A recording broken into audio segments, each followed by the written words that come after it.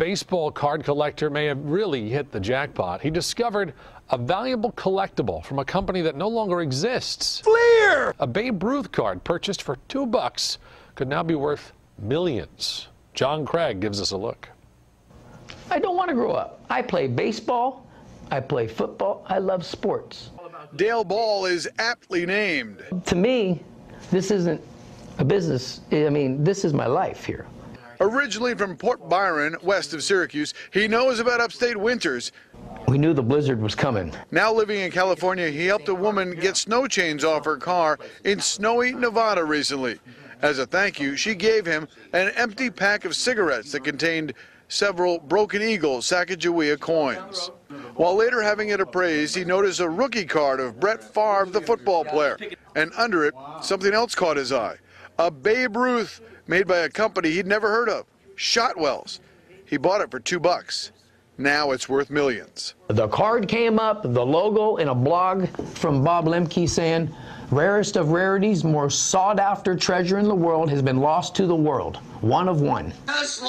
And I about fell off my chair that I was sitting in. We showed his collection to the top guys at the Valley Cats. They too were amazed. A rare Mickey Mantle, Ty Cobb, Lou Gehrig, Honus Wagner. A stack of Babe Ruth cards worth more than 35 million. Um.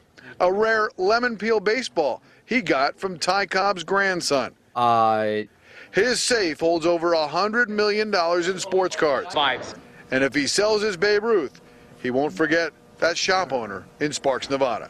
Because that man made a mistake, God blessed my family and me, and I can do nothing less to bless that man back. Okay, to catch you up on some drama, we went to a card show about a week ago and we ran into a Dale Ball. We had never met Dale Ball before, but we had a funny interaction with him, and he seemed like just another quirky card dealer at a show.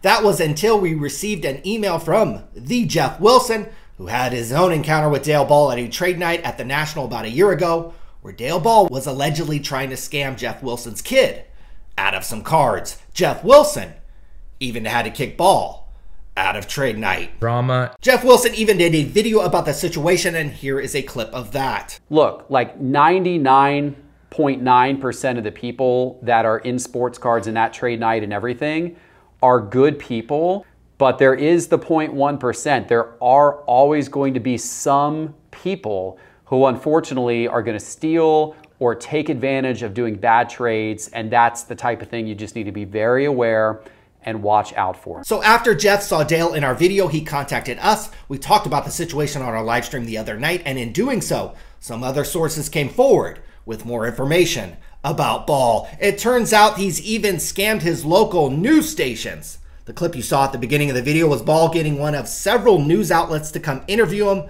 about a supposed rare Babe Ruth card. A Ruth card he bought at a Nevada card shop for $2. Ball thinks the card is real. The card is obviously fake. Ball claims that PSA and BGS don't know what they're doing, so he won't send the card to them. misconceptions. It's easy for me to tell that Dale Ball is a low IQ individual. No, no, no. I think it's fair to say that he's also likely a scammer. I would guess that one out of every five individuals at a card show have characteristics similar to Dale Ball. So please be careful when you attend shows, especially with your children. Broader questions are Sports Card Radio and Sports Card Investor BFFs now. Here's the thing the people that thought we had real beef with Jeff Wilson didn't really know us that well. If you thought we had real beef with Jeff Wilson, you weren't aware of the 15 years of content we've put up over here at Sports Card Radio. Negativity. Jeff Wilson wouldn't even crack the top 10 of people we've had beef with over the years. We've been threatened to be sued countless times. We helped send the FBI to the National to subpoena card dealers, including PWCC. We were banned from the industry summit because of my tweets. The owner of Blowout Sports Cards has personally confronted me on camera twice. You can look that up. You can Google it. A six foot five college football offensive lineman that can't tell the difference between a boy and a girl wanted to beat me up at the National. None of these instances involve Jeff Wilson. If you really think we care about the cards Jeff has bought, the investments he has made, or the loans he's gotten, you're the one who probably needs a vacation. Vibes. Okay, we have a developing situation on Twitter involving a former announcer of the St. Louis Blues hockey team who is being accused of scamming people out of money for cards he never sent. Chris Harambe has allegedly not sent a $4,000 1948 Jackie Robinson card and scammed other buyers as well. One person claims that Harambe even used a fake tracking number to keep the scam going. So we will be sure to keep you posted on what happens next. Personally, I do not know why people in this hobby do person to person deals when there are countless marketplaces that currently offer zero to no fees. Um, so I really don't actually get buying a $4,000 card from an individual and not using a marketplace. That's just me. But hopefully everybody gets their cards or their money back and the things work out in this situation. Drama. You will remember Shyne, the person who famously sold a sealed case of first edition Pokemon cards, authenticated by none other than BBCE to Logan Paul, and inside turned out to be G.I. Joe cards. While Shyne is a very well funded individual, you can probably take some wild guesses where Shyne got his money from and probably be correct.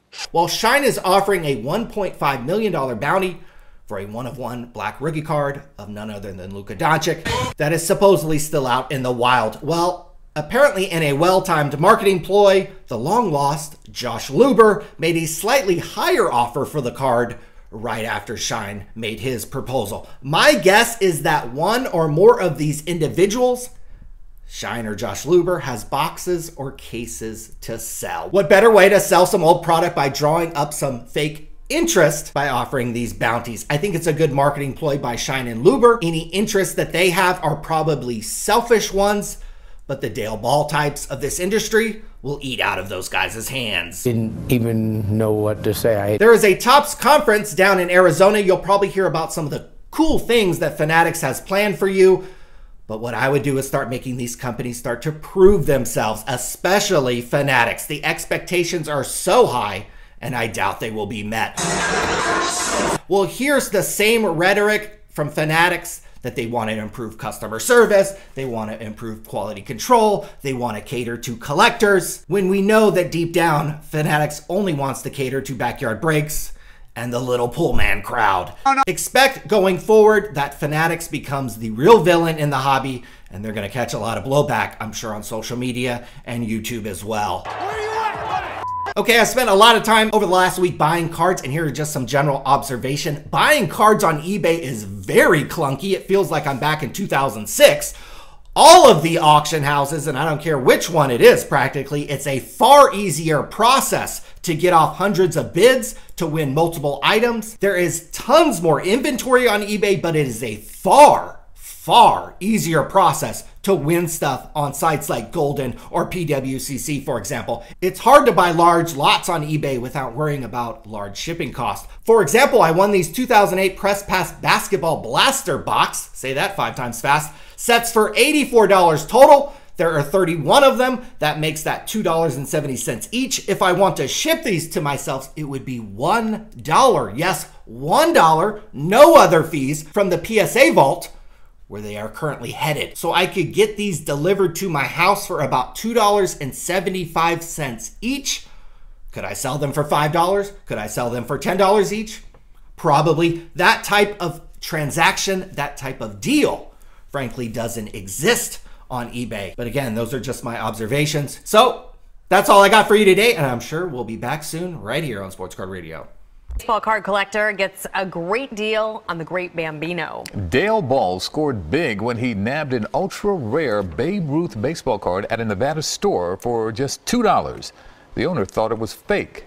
Ball says an authenticator has since confirmed it's a rare 1921 card, possibly worth millions. I didn't even know what to say. I had tears start running down my face, to tell you the truth. You can't even imagine the feeling. Ball says if he decides to sell it, the collector who sold it to him will get a cut.